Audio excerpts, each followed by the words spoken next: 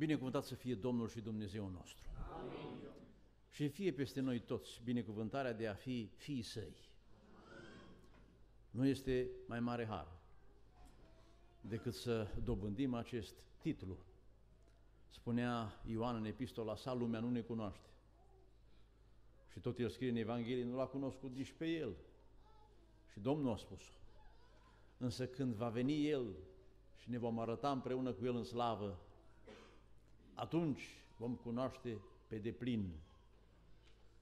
De aceea vă îndemn în această seară să ne cercetăm înaintea Domnului care este statutul nostru. Pentru că vreau să vă aduc în față un cuvânt pornind de la o întrebare lansată în Cartea Proverbele, capitolul 20, versetul 9. Cine poate zice, mi-am curățit inima, sunt curat de păcatul meu. Nici o carte din lume nu condamnă atât de categoric păcatul ca și Biblia. Dar nicio carte din lume nu are soluție pentru problema păcatului, numai Dumnezeu prin ceea ce e scris în Scripturi. Așadar, spun din capul locului, dacă cineva va fi identificat ca păcătos, să dea slavă Domnului că i s-a descoperit diagnosticul, că altfel era să moară. Să dea slavă Domnului că un medic bun, cu adevărat bun, nu-i doar cel care descoperă boala, ci cel care are capacitatea să o trateze. Poate Domnul nostru să rezolve și problema aceasta? Amin. Haideți așadar să fim sinceri. Să nu fim ca niște oameni care să se ducă la spital și când se întorc înapoi acasă să spună am fost la doctor și nici măcar nu și-o dat seama cu ce sufăr. Eu nu i-am spus ce mă doare. Asta ar fi o ispravă? Nici de cum. Cu atât mai mult la biserică. Biserica nu e muzeu de sfinți, e spital de păcătoși. Dar Dumnezeu tratează cu rezultate maxime. Haideți, dragii mei, să ne cercetăm așadar. Revin cu această întrebare. Cine poate zice, mi-am curățit inima? Sunt curat de păcatul meu. să observăm împreună, potrivit celor scrise în Sfintele Scripturi, cum circulă păcatul în lumea aceasta și ce efecte are. Nu doar în plan fizic, spiritual. Vă întreb, înainte ca oamenii să păcătuiască, unde era păcatul? Și înainte ca un om, să spunem un copil sau un om de oricare altă vârstă, înainte de a comite un anume păcat, unde se află păcatul. Vă citesc cele spuse de Dumnezeu lui Cain, Cartea Genesa, capitolul 4, versetul 7. Păcatul pândește la ușă. Dorința lui se ține după tine. Că n-ar fi problema doar dacă ar pândi păcatul să vadă ce se întâmplă în casă, așa dacă păcatul ar fi doar o stare legată de curiozitate. Dorința lui se ține după tine. Păcatul este la ușa oricăruia dintre noi și nu stă acolo adormit, se duce un scaun să stea liniștit. Bate la ușă. Și uneori bate cu insistență. Și n-ar fi doar atât marea gravitate. Spune Iacov în epistola sa, vă citesc capitolul 1, de la versetul 14, fiecare este ispitit. E faza preliminară de negociere a păcatului, de ofertă, când este atras de pofta lui însuși și momit. Apoi pofta când a zămislit de naștere păcatului și păcatul odată înfăptuit aduce moartea. Deci nu doar că de afară păcatul insistă, dar dinăuntru mie îmi vine să stau tot lângă ușă. Că dacă aș putea eu ca om să stau liniștit în casă, la masă, să-mi văd de treabă și nu are decât păcatul să stea la ușă acolo până la sfârșit. Nu e așa. el e la ușă și bate, eu sunt lângă ușă și îmi vine să deschid. Când s-a dus Augustin la Roma, potrivit sfaturilor mamei sale, Vlavioasei Monica, ea cunoștea ce se întâmplă la Roma, acolo dictonul era pâine și circ. A zis, băiete, când o să ajungi în fața arenelor și sunt cere de cruzime sau imorale, să pui mâna la ochi. Și el și-a amintit că era un băiat inteligent. Și a zis, cum mi-a zis mama, așa făceam, numai când venea să fac așa. Adică să văd printre degete. Dumneavoastră simțiți aceste bătăi ale păcatului, nu așa? Da, ceva ce vă atrage spre ușă, simțiți? Se spune că într-o revistă creștină s-a publicat uh, o reclamă și știți cum sunt reclamele, trebuie acolo să treacă o poză a unei femei. Cineva a reclamat, s-a adunat un comitet director, al cărui organ era revista, și s-a pus problema, cum își permit una ca aceasta? Dar după punctul acesta ședința a continuat și unul din cei prezenți, în fața căruia a poposit revista, întoarce din nou pagina înapoi și zice, a, nu e urâtă femeia asta. Deci cam așa e cu păcatul. Știi că e păcat, e de condamnat, dar totuși de ispitiți, suntem ispitiți. Și să nu spună careva din cei prezenți. Eu nu sunt ispitit. A fost ispitit Fiul lui Dumnezeu în toate felurile, dar noi. A fost ispitit David, marele om al lui Dumnezeu și nu la 25 de ani, făcând calculele după 50. Ispita e puternic. S-a lăudat Petru. Eu să mă leapăt, să păzească Dumnezeu pe tine, că despre mine nu-i problemă. Mă duc și la moarte, așa a fost? Zice Domnul, Luca 22 cu 31, 32, Simone, vezi că vine stăpânitorul și la ușă la tine. Și apoi și-a dat seama cât e de slab. Deci, să observăm întâi această poziționare imediată, apropiată a păcatului.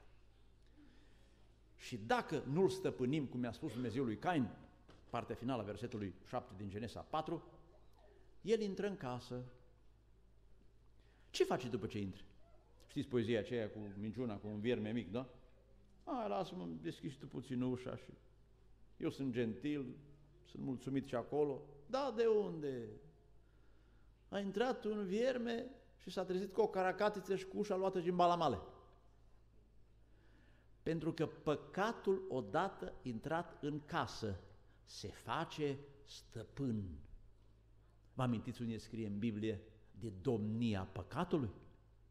De stăpânirea lui? Spune Scriptura, Vă citesc din Evrei, capitolul 12, versetul 1. Hai citim mai întâi versetul 4. Voi nu v-ați împotrivit încă până la sânge în lupta potriva păcatului. Și vă întreb, cum e mai ușor să te bați cu păcatul până e afară și ușa închisă sau după ce intră înăuntru? Dacă vine un hoț, cum e mai ușor să-l birui? Înainte de descuia ușa sau după aceea? Cine știe, nu? Dacă nu te-ai împotrivit să-l ții afară, să nu-ți manifesti nici măcar curiozitatea față de un păcat, să nu te păcălească spunând, a, numai odată, numai să vezi, numai să încerci, și alții fac, cât te spune diavolul de la ușă prin ispitire, o poveste lungă. Versetul 1. Păcatul ne înfășoară așa de lesne. Când intră păcatul în casă, nu stă cu tine la masă, numai chipurile au fost că ți-aduce așa un par de suc, că ai fost însetat, cum s-a dus diavolul la Domnul Iisus în procesul ispitirii, ție ți foame și eu propun să mănânci, e ora mesei. Păcatul când intră, imediat scoate funia din sac și te înfășoară. Se face șef. Și nu doar că te înfășoară pe din afară, cum avem noi o vorbă, că te leagă de mâini și de picioare. Spune cartea profetului Ieremia, vă citesc din capitolul 17, unde este interesat păcatul să ajungă. nu doar de mâinile noastre să se lipească, are o țintă mult mai puternică. Versetul 1. Păcatul lui Iuda este scris cu un priboi de fier, cu un vâr de diamant, este săpat pe tabla inimilor și pe coarnele altarelor lor. Păcatul e ca și cancerul, dragii mei. Știți că sunt anumite forme de cancer, îmi spunea un frate, care a fost operat și medicii văzând că este un om rațional și pot să discute cu el deschis, i-au zis, domnule, ce am făcut noi e cam așa, ți-am scos un pui, dar cloșca și ceilalți sunt la dumneata în trup. Cam așa se instaurează păcatul. Îți intră în țesutul inimii. Aș putea spune, se răspândește de urgență în toate mădularele. Te-a virusat pe dinăuntru și te-a legat pe din afară. Și drept dovadă că așa se întâmplă, păcatul odată intrat în viața, în casa cuiva, știți cum stăpânește păcatul, vine cu diavol. Drept dovadă, păcatele se înmulțesc. Să vă citesc din Roman, capitolul 1, ce se întâmplă în asemenea situații. Citim de la versetul 28. Fiindcă n-au căutat să păstreze pe Dumnezeu în cunoștința lor, Dumnezeu a, lăsat, Dumnezeu a lăsat în voia minților blestemate ca să facă lucruri neîngăduite. Astfel au ajuns. Să vedeți de ce umple casa diavolul. Au ajuns plini. Păcatul nu-ți lasă nici măcar un singur spațiu liber. Numai în măsura în care cucerește se întâmplă asta. Și aici este enumerată o listă de vreo 20 de păcate.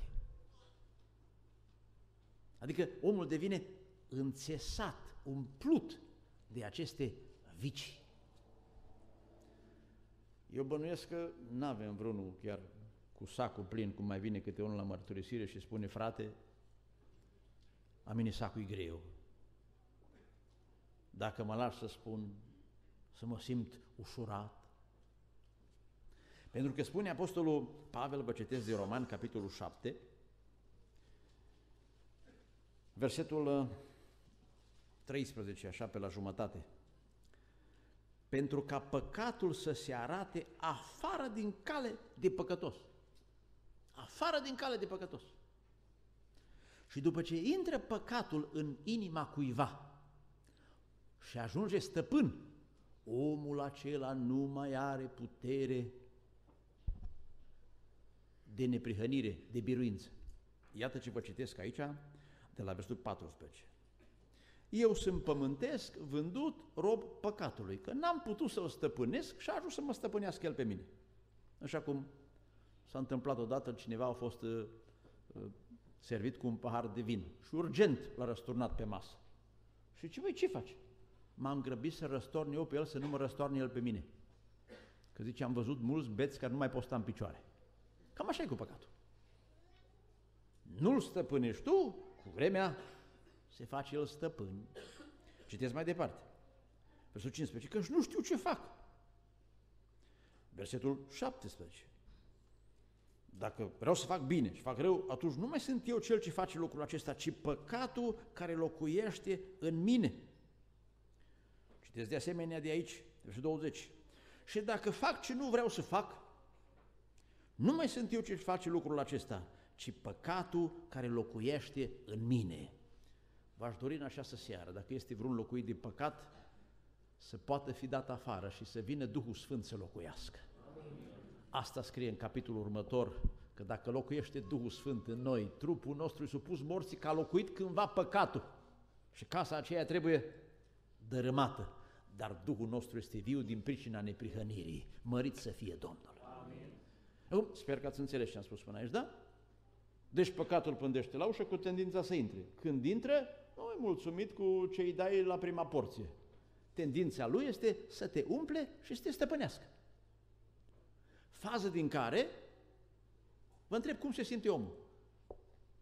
Că de regulă când un organ a unui om este afectat și ar urma moartea, asta se lasă și cu dureri, excepție fac leproșii și situații foarte rare de boli care nu dor. Dar în asemenea situații, omul deja, deși vrea să se simtă bine, dar nu mai poate. L-am întrebat odată pe un bărbat care și-a lăsat nevasta, s-a dus cu alta trei ani, s-a întors înapoi și cu vremea, după opt ani, s-a recolonat cu soția lui. Și am zis, care a fost starea ta în anii aceștia? Și îmi zice, frate, n-am avut nicio zi de liniște și de bucurie. Deși am încercat să mă satisfac în păcat, să fiu împlinit, n-avea gust. Orice mâncam, orice îmi doream. Spuneți-mi, după ce a păcătuit Adam și Eva, s-au simțit bine, nu cum le-a promis diavolul, da? O să fiți ca Dumnezeu. Dar de-aia au luat-o la fugă. A urmat și pedepsele, cum știți. Spunea David să-l chestionăm pe acest bărbat care v-am spus a fost ispitit la 50 de ani. Că fericit poți să-l numești pe om întru totul numai după ce a murit, că nu mai va avea probleme cu păcatul. Citeți Psalmul 32. Versetul 3. Câtă vreme am tăcut, mi se topeau oasele de gemetele necurmate, că zi și noapte mâna ta apăsa asupra mea. Atunci ți-am mărturisit păcatul. Doamne, nu mai sunt eu stăpân în casa asta. Spune tot David, vă citesc din Psalmul 51 și vă, vă îndemn să vă recunoașteți. Să nu fiți farisei. M-am dus odată într-o familie cu un slujitor și am întrebat ce faceți, care este starea voastră spirituală. La care sora zice, a, bine. Eu am fixat-o cu privirea și am zis, starea voastră spirituală e gravă. La care ea zice, e drept, frate. Atunci ce le cocoloșim, așa cum e o vorbă la noi în Apuseni? Să fim sinceri. Pentru că omul știe ce a păcătuit.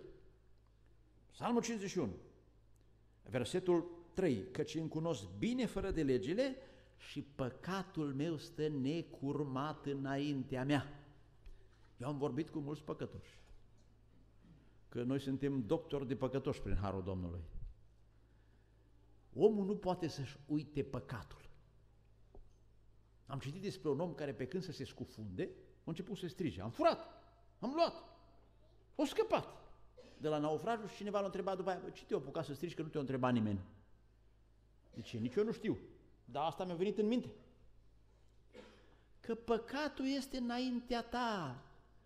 Dragii mei, păcatul nu are termen de prescriere să se arunce arhivele, procesele verbale, să nu se mai știe, să nu mai afle nimeni. Nu există așa ceva. Frații lui Iosif l-au vândut și n-au spus tatălui lor.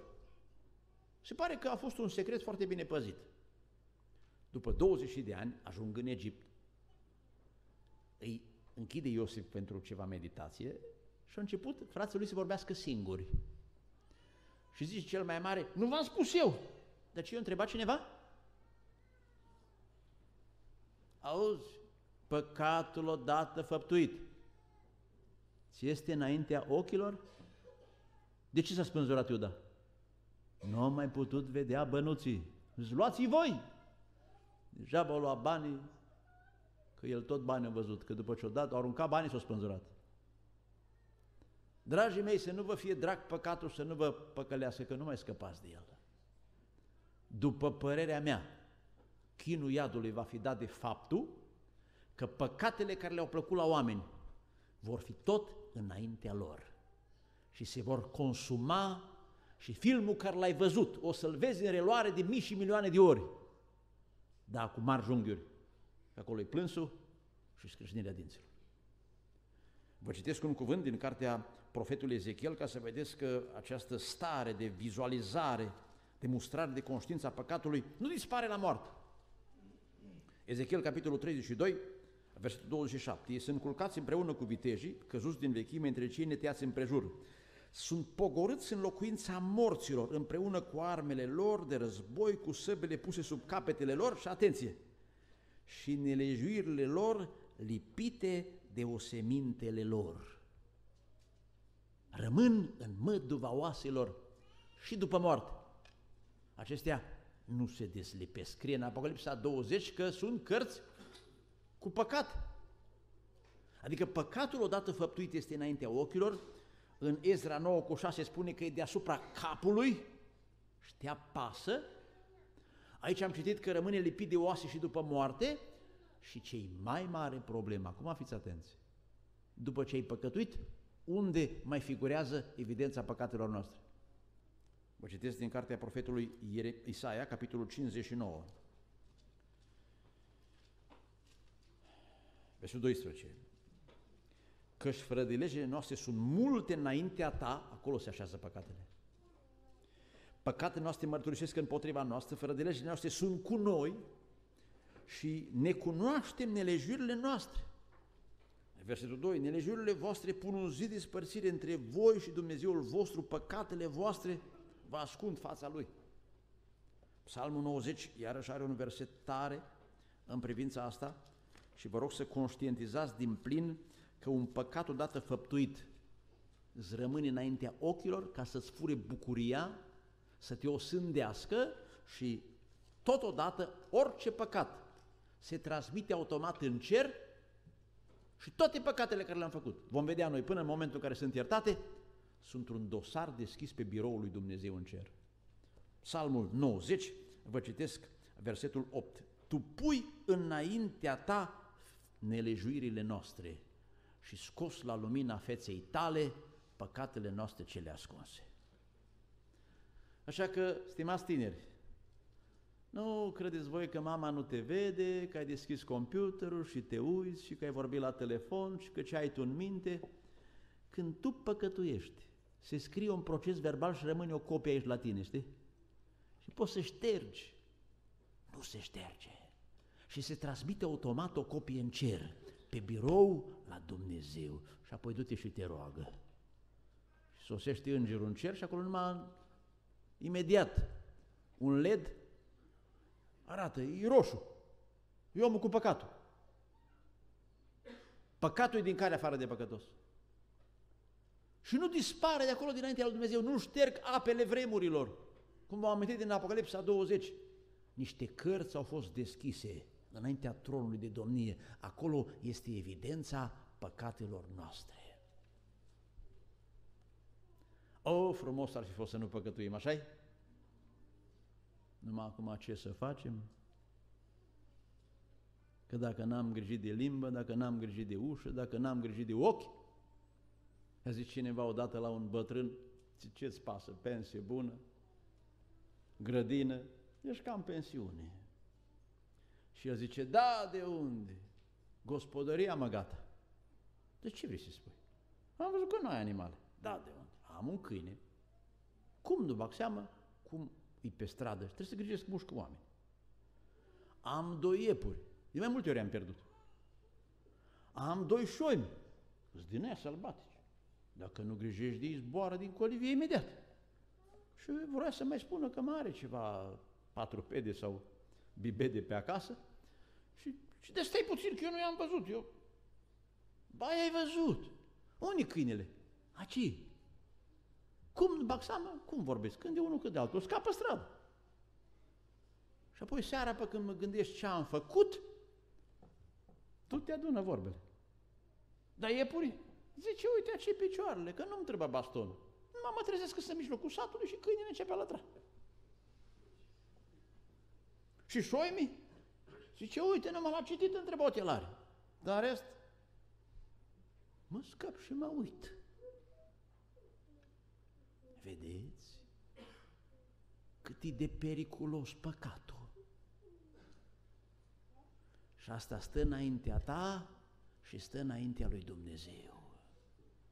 Se spune că un tânăr s-a visat într-o noapte că era într-o cameră singur. Și când se uite în jur, raft, rupă raft, cuprindeau dosare și toate erau cu numele lui. Deschide curios, fiecare cu titlu aparte, blestemății făcute la școală. Măi, cine mi-a făcut mie proces verbal în toate pauzele? Vorbe urâte. Păi, dar m-au înregistrat, nu Priviri păcătoase, alt dosar. Să uite pe alt raft, păcate înregistrate de acasă. Cineva o notat de câte ori o supărat el pe bunica. Doamne, eu am crezut că e băiat bun. Dar n-am făcut și fapte bune. Și uite, asta nu le scrie, Doamne. Ba da, au găsit acolo pe ceva raft, fapte făcute cu toată inima, dar numai câteva, că restul au fost așa de sâlă, se dea bunica 5 lei și alea au fost pe alt dosar. Și ce să vezi, pe când se uita el și constata cât e de păcătos, prinde o mână de umăr și când se uită în vis, Domnul, că păcatele sunt înaintea noastră și înaintea Lui. Și o Domnul, vrei să te ajut? Și el a zis, da. Dragii mei, dacă până acum v-am apăsat ca să vă arăt unde sunteți, vreau acum să vă spun vestea cea bună, ceea ce a spus Ioan, botezătorul, Evanghelia după Ioan, capitolul 1, ăsta a fost cel mai mare om născut din femei și a făcut o declarație extraordinară. Ioan 1 cu 29. Iată mielul lui Dumnezeu care ridică păcatul lumii. Dragii mei, păcatul nu se rezolvă cu fapte bune. Păcatul nu are termen de prescriere, că după 20 de ani nu se mai știe ce ai făcut în tinerețe. Nu, nu. Și năzdrăvăniile din copilărie se notează. M-a sunat într-o zi un frate, era predicator. Zice, frate, când am fost student, m-am copiat la un examen și de atunci mă tot mustră conștiința, mă iertați? Băi, băiete, nu mai știu ce notă ți-am dat. Da, așa e păcatul. Nu te poate scăpa nimeni în cugetul tău, nu se rezolvă problema decât prin sângele, prin jertfa Domnului Isus Hristos. Este un cuvânt frumos în, Evanghe- în uh, Evrei, capitolul 9, spune Cartea Sfântă aici, versetul 14. Sângele lui Hristos, care prin Duhul cel veșnic s-a adus pe sine însuși jertfă fără pată lui Dumnezeu, vă va curăți cugetul vostru să știți că în vechime oameni nu au fost liniștiți când s-a sacrificat un miel sau un țap. A fost numai o imagine temporară. Omul încă se simțea că mai e nevoie de ceva.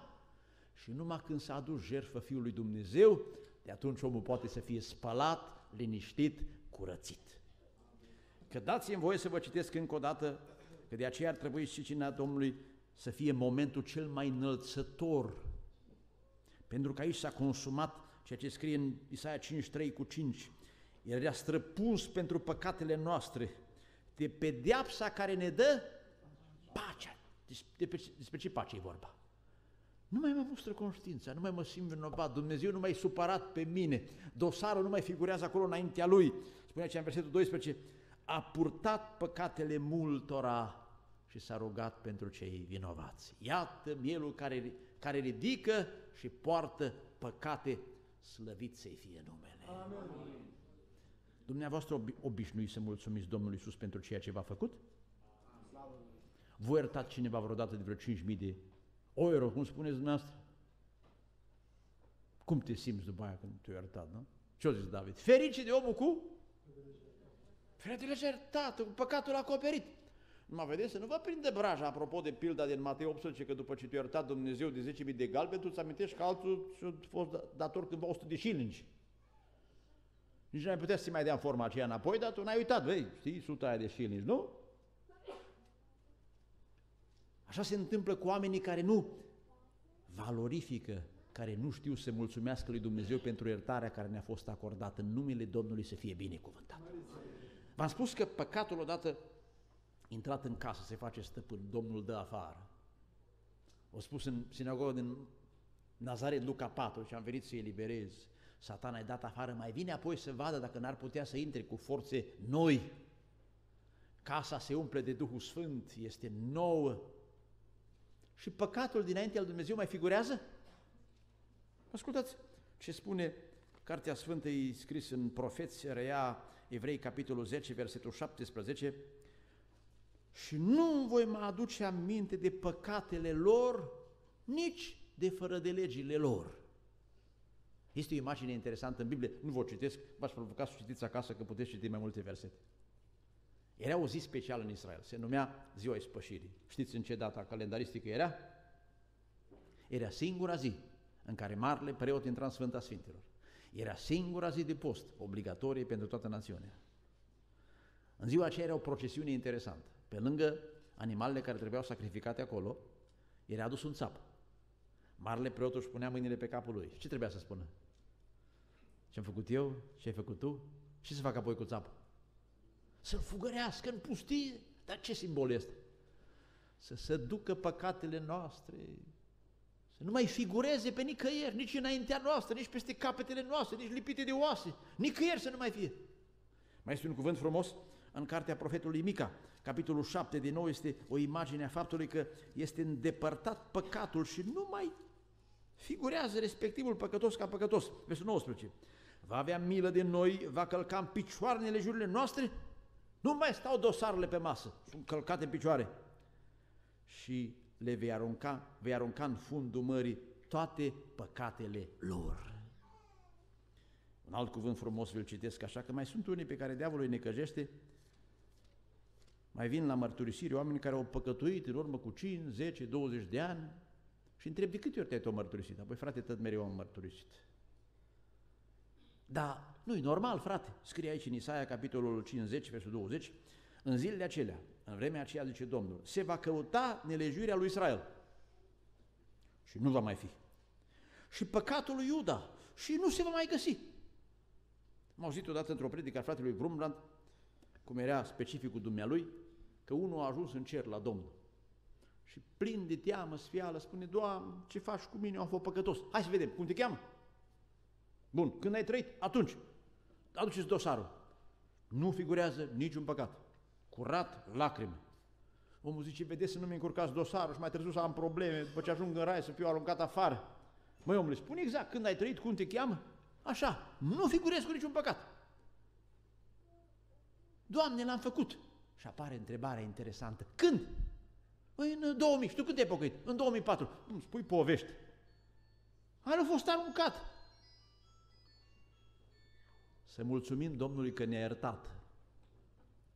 Dar uh, întrebarea este, când ne-a iertat, am fost noi conștienți de toate păcatele?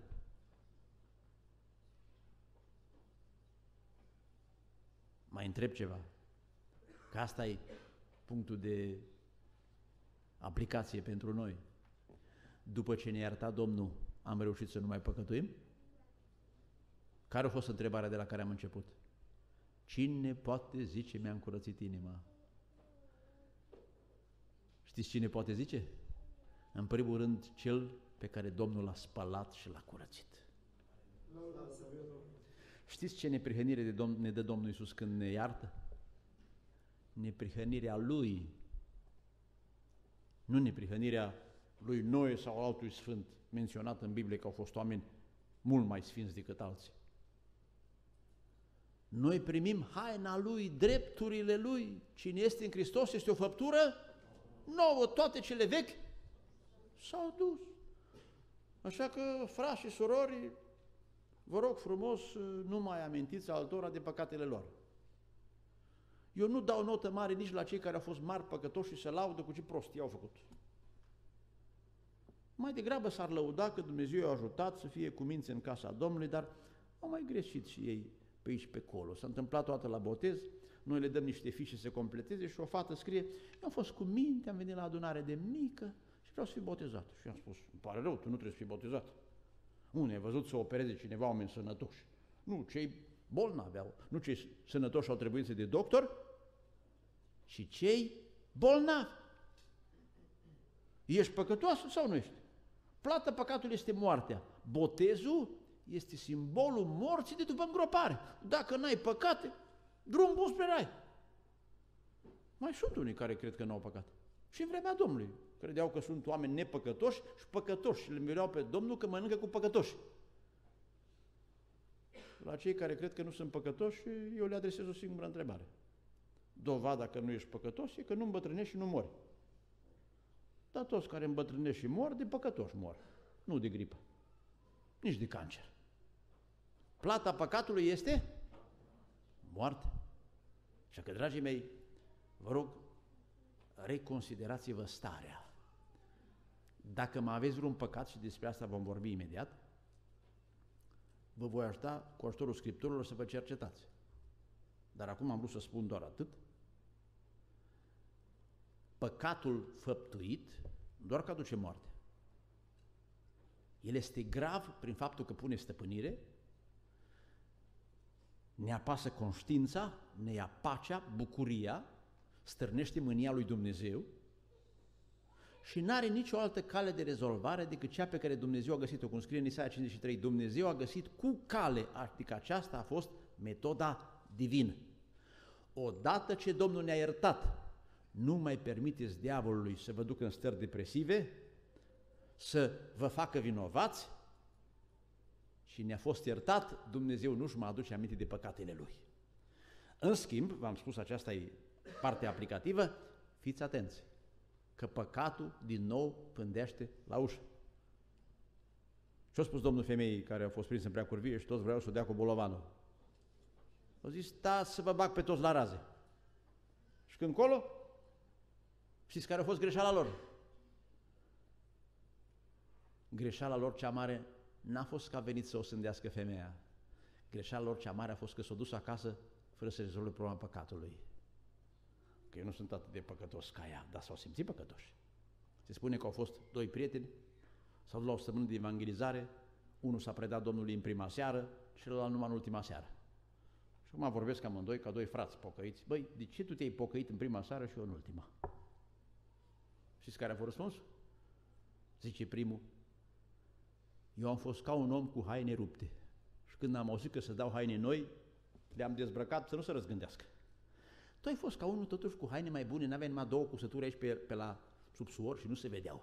Și ai măi, schimb haine sau nu le schimb, că toată lumea mă știe costumul ăsta. Dar pe urmă ți-ai dat seama că ruptura la tine se mărește. Și ai zis, băi, totuși ales haine noi, le schimb și eu. Că așa se întâmplă adesea, cei mai, mai grav păcătoși se mântuiesc primii și Dumnezeu are putere să-i mântuiască. Harul celorlalți e că n-au mulți vizitatori după ce se pocăiesc. Că zice în 2 Petru capitolul 2, că fiecare e rob de păcatul lui și dacă se încurcă, iarăși păcatele alea revin. Și eu știm din mărturisiri. Spune, frate, m-am pocăit, dar după două luni, după doi ani, diavolul vine din nou la ușă. Aceleași prietenii, aceleași telefoane și dacă din nou aduci rău păcatului, ei, aici problema se complică. Din faza asta păcatul se mai iartă numai cu pedeapsă, te faci vinovat, cel ce a știut mult va primi mai multe lovituri și sunt situații grave când cineva poate ajunge să răsăinească pe Hristos a doua oară, ceea ce de fapt nu se poate, și ajunge situația acelui păcat veșnic numit de Domnul, care nu se iartă nici în veacul acesta, nici în veacul viitor. Deci mulțumim Domnului că am fost iertați, dar să ne dea Dumnezeu harul ca odată iertați să nu mai păcătuim. Odată ce ne-a fost dat harul, să nu trăim în așa fel încât să păcătuim mereu, ca să se mulțească harul. Asta e mai mare nebunie decât a celor de afară care au păcătuit întâi din neștiință, din incapacitatea de a ști să se apere, să țină păcatul la ușă. Să vă ajute Domnul să trăiți ca niște sfinți. Amin.